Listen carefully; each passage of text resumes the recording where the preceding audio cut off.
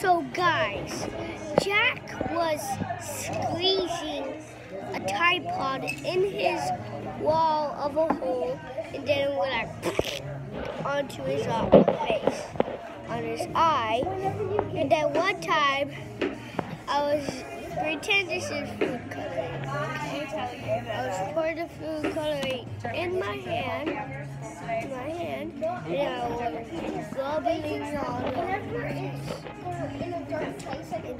one time,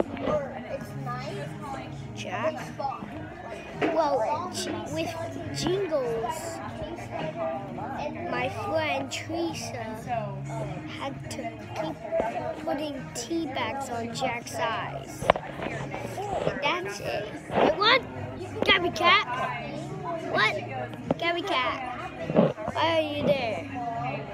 You're right there. Okay, I